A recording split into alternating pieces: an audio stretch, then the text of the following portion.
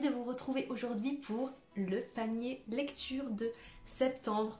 Il est encore une fois magnifique et je vois qu'il y a des petits ouvrages pour ce mois-ci. J'avais fait une demande particulière à ma maman, c'était de rentrer dans des lectures un petit peu d'automne, des lectures que je puisse intégrer facilement dans le Pumpkin Autumn Challenge, bien évidemment, puisque comme ça je pourrais glisser ces lectures euh, et les remplacer par d'autres livres de ma pile à lire du challenge. Donc euh, voilà, c'était euh, le challenge un petit peu supplémentaire pour ma maman de choisir parmi ma wishlist des livres qui pouvaient coller avec l'ambiance de l'automne et des différents menus du challenge.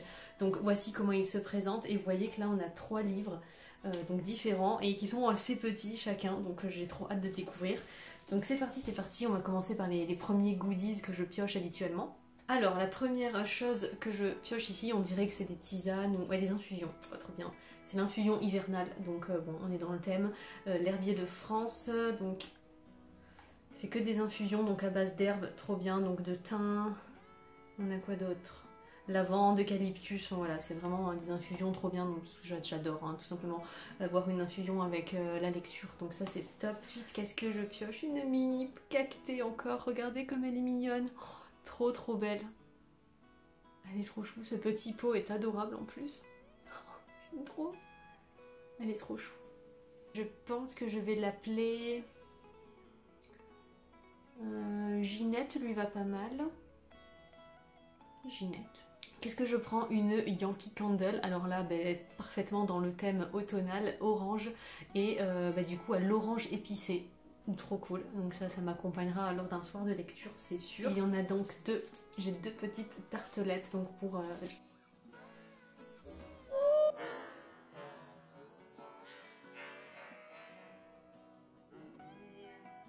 Ensuite, je pioche le premier livre. Donc vous voyez qu'il est quand même tout petit, donc c'est cool, c'est des, lectures je pense que je vais pouvoir facilement intégrer dans le challenge.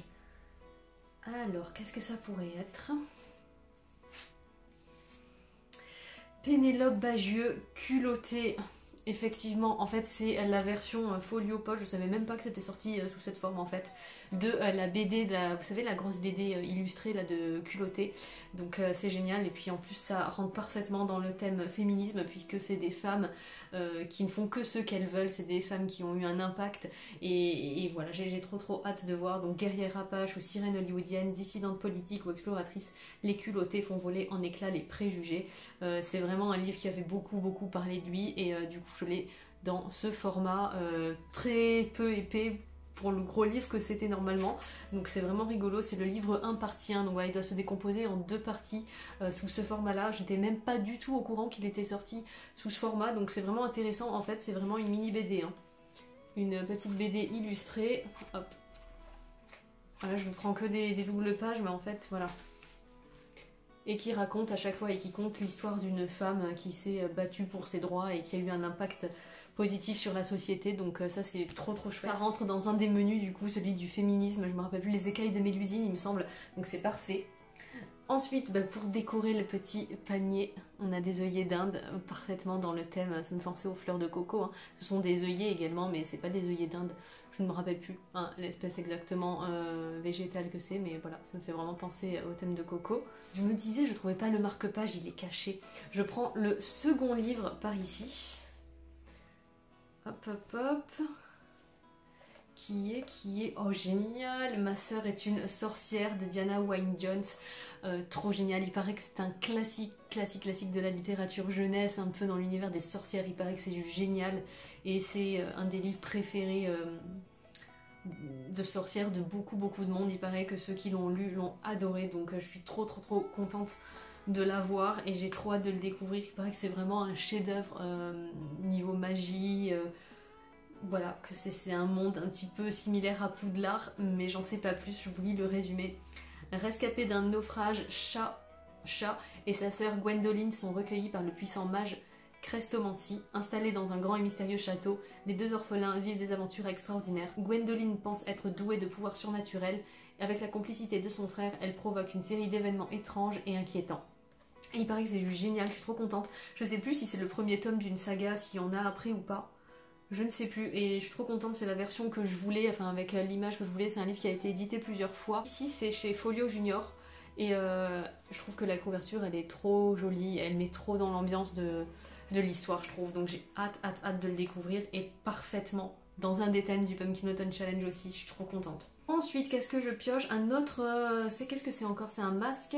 Ah, c'est un bain apaisant encore aux huiles régénératrices pour euh, les peaux sollicitées. Donc euh, trop trop bien. C'est un truc à mettre dans le bain en fait. Et euh, ça doit trop trop apaiser. Trop génial. Découvrons le marque-page du mois. Oh, comme elle est belle Oh, c'est une poupie d'automne Regardez comme elle est belle Oh, j'adore L'automne est un andate mélancolique et gracieux qui prépare admirablement le solennel adagio de l'hiver. Oh, George Sand, c'est trop trop beau. C'est vrai que l'automne, c'est vraiment une période d'entre-deux que j'adore, entre deux saisons très fortes qui sont l'été et l'hiver. Et euh, moi j'aime trop. Elle est trop belle, franchement, elle représente trop l'automne. Je vous ferai un, petit gros plan dessus parce qu'elle est trop belle. Il y a un petit liseré et tout, je l'adore. Alors il y a deux petites pochettes comme ceci avec des cœurs, c'est trop chou. Euh, je garde le dernier livre pour la fin qui m'a l'air être un format BD, donc je suis trop curieuse de voir ce qu'elle a choisi. Et euh, du coup,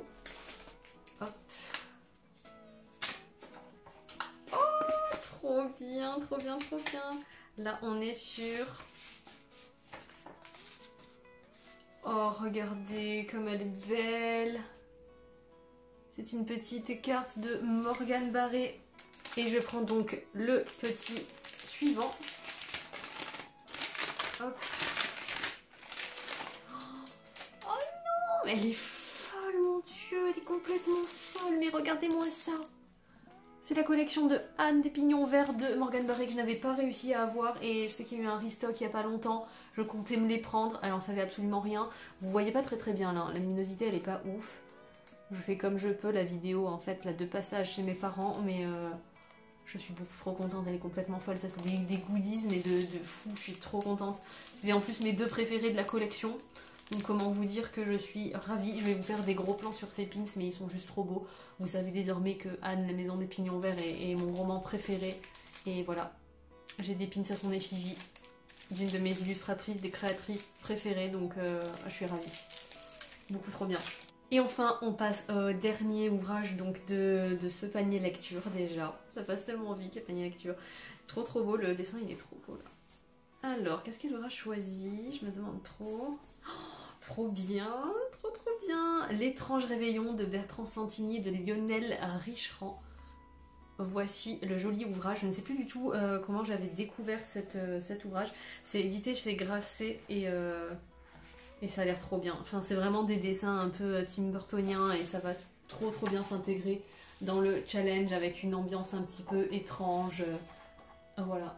Je vous fais des, close-up de toute manière, mais je suis trop contente. Ça va se lire hyper facilement. C'est trop trop trop bien. J'ai j'ai trop hâte. J'ai beaucoup trop hâte de le découvrir.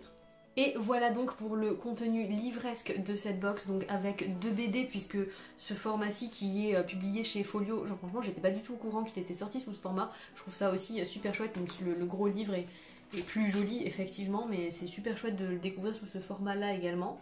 Et euh, bah, du coup, bah, deux BD sous deux formats différents et un roman euh, jeunesse que j'avais trop trop hâte de découvrir, donc euh, franchement je pense que je vais vraiment le remplacer par une des lectures que je m'étais mise dans le challenge.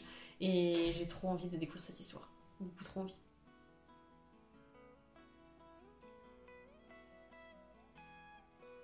Voilà, pour faire le résumé, il y a Ginette qui s'est cassé la gueule, il va falloir que je la rempote. Il y a de la terre de partout sur le lit, vous ne voyez rien. Je, suis ravie, je suis joie. Je vais poser Ginette ici, mais euh, voici le premier goodies que, que j'aime trop, hein, clairement. Donc, un paquet avec plein d'infusions à l'intérieur, deux petits Yankee Candle, le marque-page du mois, hein, qui est tous les mois un de mes goodies préférés que j'adore. On a un petit bain euh, d'huile essentielle donc pour le bain. On a la petite carte et les deux pins. Mais ce panier est juste parfait. Et voilà mes wappies, le panier lecture du mois de septembre a été ouvert. Je suis trop ravie, ça va être des lectures hyper facilement euh, intégrables dans le challenge du euh, Pumpkin Autumn Challenge. Donc je suis vraiment trop trop trop contente. Vraiment des lectures que je voulais découvrir et ça me plaît vraiment de voir sur quoi je vais tomber en fait, d'avoir la surprise. C'est juste trop trop génial. Les goodies à chaque fois sont géniaux et me correspondent totalement. Donc je suis trop trop trop trop trop contente. Surtout n'hésitez pas à me dire si vous avez lu euh, ou déjà découvert ou vous avez envie de découvrir un des livres présentés dans la box et euh, si vous avez un lien aussi avec les goodies, hein, pourquoi pas.